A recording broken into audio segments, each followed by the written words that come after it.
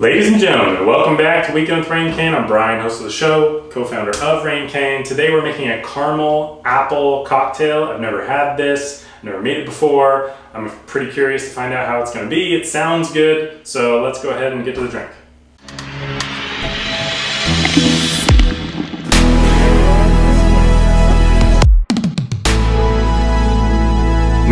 It's a really easy cocktail to make. It's basically two plus two equals caramel apple cocktail. Two ounces of Reigncane and two ounces of cloudy apple cider and just a quarter ounce of caramel sauce. Of course, the sweeter you want your cocktail, the more caramel sauce you can put in there, the more caramel you want it. Nice car alarm for us. Add our ice and shake it.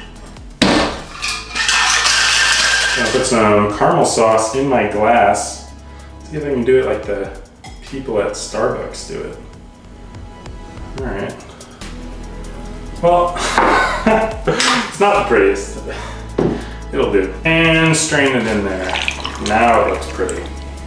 That looks so good. It Has like a little bit of a frothiness to it too. That's cool. I think the two coolest apple garnishes are the kind where you cut it horizontally. So you get a star in the middle of your apple or the apple fans. I'm gonna throw apple horizontal on there. I just think that they look cool. Caramel apple cocktail, let's go ahead and give it a try. It's delicious. I'm just deciding if this is a you know, beginning of Friendsgiving, beginning of Thanksgiving kind of cocktail, or if this is a dessert cocktail. Kind of plays that fine line between the two because it's so sweet, but it's also really refreshing at the same time. So,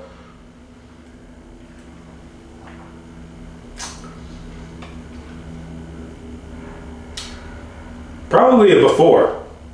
I don't think it's quite sweet enough. Maybe, I mean, it just depends on how much caramel sauce you put in there, but the way I made it, I'm gonna go with a before, a very exciting before dinner cocktail. So cheers to your weekend with Reigncane.